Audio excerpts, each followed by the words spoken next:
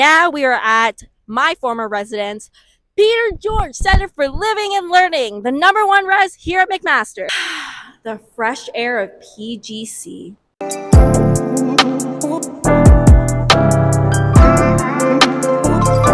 We'll start with your names. Anna, Emma.